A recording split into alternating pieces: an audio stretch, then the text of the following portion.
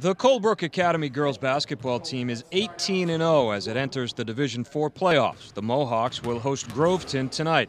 Should they continue to advance, juniors Sage Smith and Samantha Howe will likely have something to do with it. Aside from being two of the top players in Division IV, they're also best friends. It's pretty awesome having her there by my side throughout the whole throughout all of it. It makes things really fun. We we always know where each other are drive and dish or pick and roll, stuff like that. We just, we know where we are.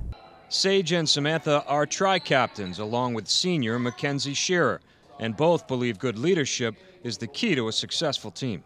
I feel like it's really important that you need to have strong leaders because without it, I feel like everything will just kind of like fall apart. I lead by example. I don't, I uh, don't like to say much. That's for my other teammates to do. Both girls are three sport athletes. They play soccer, basketball, and softball together, but hoops is their thing.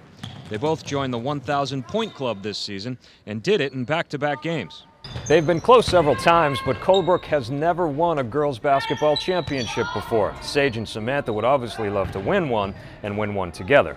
It would mean the world to, especially to get the first one ever for girls would be awesome it'd be awesome. It'd remember it forever. Both Sage and Sam hope to play basketball in college, but they're just juniors, so still have plenty of time.